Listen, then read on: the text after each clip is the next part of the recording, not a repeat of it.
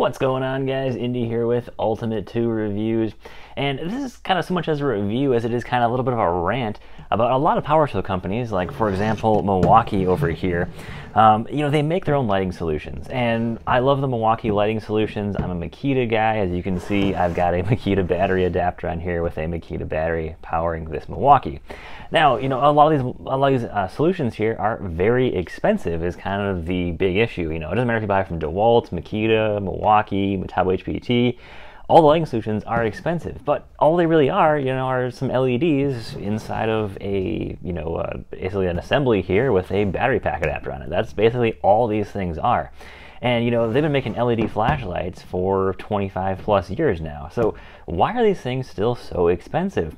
Well, if you've ever seen Amazon, eBay, there's a lot of these brands here, and uh, I think it's pronounced um, Acomir. I think it's pronounced Acomir.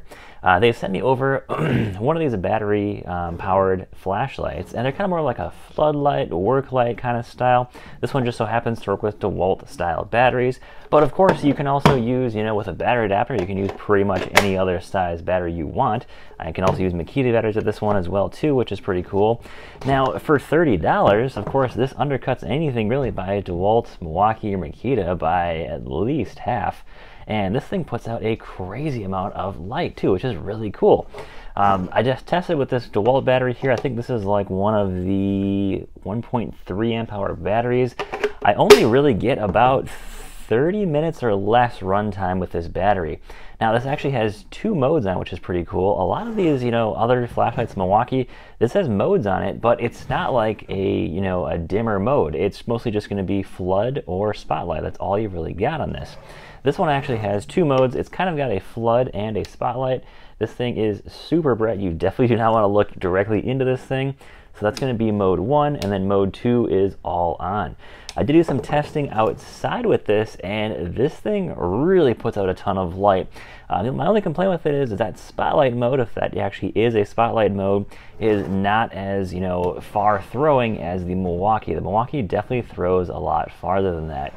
But for the price though, and that's what I've always been wondering, is is these, you know, little 30, I was even, some of them are even 20 bucks on Amazon, 20, 30, 40 dollars on Amazon. Are these little things worth it? Because it's not like a power tool, you know, it's not an impact wrench, it's not a drill. They're just, you know, basically a light array running off an 18 volt battery. It doesn't matter if you're running DeWalt, Milwaukee, or Makita, they're all running on the same voltage for the most part and they've all got pretty much the exact same design. Basically running, you know, just a quick little cable here. They're claiming it's an aluminum alloy heatsink with going to be about uh, 6,000 lumen output. I don't know if it's exactly 6,000 lumens, but it is super bright. You do not want to look into this at all. And I think the construction is actually pretty decent for the price point here. $30, you get some USB outputs. One of the coolest features that I noticed on here is that it also has basically a it senses when the battery is starting to drop voltage and just turns the light off, which is really cool. It doesn't actually start dimming the lights or anything. It senses that voltage drop and then it just turns off like that. So very cool there. It's actually got somewhat of some smart electronics in there. It's not just gonna, you know, drain the battery all the way out and kill your batteries like some, you know, knockoff tools that I've seen have done that in the past. Um, but this thing actually works pretty well. With larger batteries, you're to get a bit better runtime, but this thing just puts out so much light, it's to be one of those things where it's to burn batteries pretty quick. But if you're trying to light up a larger workspace and you were to go out and buy like Milwaukee Rover lights, like I bought one, it was like 80 bucks. They work phenomenal. Um, I will say, looking at the testing, the Rover lights do put out more uh, light left and right, kind of more of a um, uh, basically throw on the sides there, whereas this thing puts out more light just going forward. And also, all the lights I've noticed are going to be on that um, kind of the more of the uh, the warmer Kelvin spectrum there, whereas this thing is a very very cool, pretty much fully white light there as it's putting out. Now, I will say, it was really cool to test this out. I was really wondering the quality of these lights. You know, you see them on Amazon all the time. And I'm not one for, you know, buying knockoff stuff ever. And I, I shouldn't really call this knockoff, you know, it's just going to be its own style. There's, DeWalt doesn't make anything like this at all. This is just, you know, fitting a, basically an LED array to a DeWalt battery is all it's really doing. And yeah, these things are actually pretty well worth it. I like to see some newer designs like this, and one of the reasons I like Milwaukee uh, lighting so much is because I love this design. I can carry this, and I can also set this on end and still be able to shine light wherever I need it to as like a job site light. or as like a basically hiking light like I use it for the majority of the time. But anyways, this is just an awesome light. Really, you know, happy that I actually got one of these sent to me.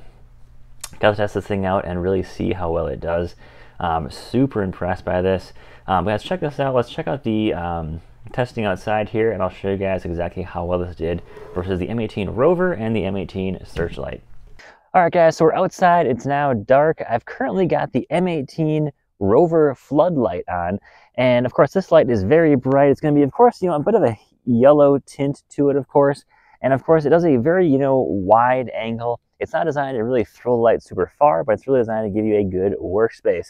So let's turn this light off and I'm gonna turn on the M18 searchlight now.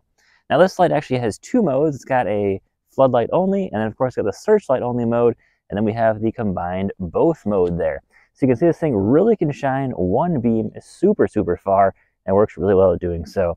Now let's try out the Amazon light here. I'm going to go into mode one, which is going to be just a floodlight. Of course, there's a lot wider of a light here. Um, so if you want, you know, a more light looking light, this is definitely a better option here. Or if you want to go for a warmer light, the Milwaukee is going to be your better option. Now check this out. I'm going to go into mode two here, where it also has kind of a searchlight to it a little bit. You can kind of see that if I move it around a little bit right there. You kind of see that right in the middle there. All right, so here is the light here. I definitely can tell the M18 Rover light has better throw when it comes to the overall width of the light. Definitely on the sides, it's definitely a lot brighter, but this light definitely is brighter just in the front. If you're just looking at the front of the light, they feel a lot brighter there. This is just mode one here. Go to mode two, it really, you know, increases the light output on only the front only there. So it's something to be aware of. The M18 searchlight is fantastic for just, you know, carrying around you can definitely tell on camera that the searchlight is a lot brighter than the floodlight. If I go to floodlight only right here, it's definitely the least bright of the three. And finally, the rover light is clearly the most bright of the three when it comes to just the floodlight only. Definitely, you know, a really bright light stays really about the same brightness almost on the entire you know, uh, area of the uh, light that's lighting up here. So again, like I said, guys, this thing did really, really well. Um, definitely very comparable, and you know, it's got a really decent LED array to it. It's pretty well made. This is plastic on the front here, but of course, this is all plastic on this front here too of the Milwaukee's. So it's not like it's you know a significant downgrade or anything from the Milwaukee's. Um, but you know, you can definitely feel the quality difference slightly, but you get a lot more. You could buy three of these for the cost of one of these. And that can allow you to put out a lot more light. I just wish had a little bit better build quality, but this switch seems fine. Everything else seems fine. I don't really have any like major complaints on it. Why I wouldn't buy one of these? And these are honestly just awesome flashlights to have for lighting up some place with your batteries you already have for really, really cheap. So if you want to check it out, guys, leave a description. I'll leave a link in the description. And thanks for watching, guys. Take care. Have a great day.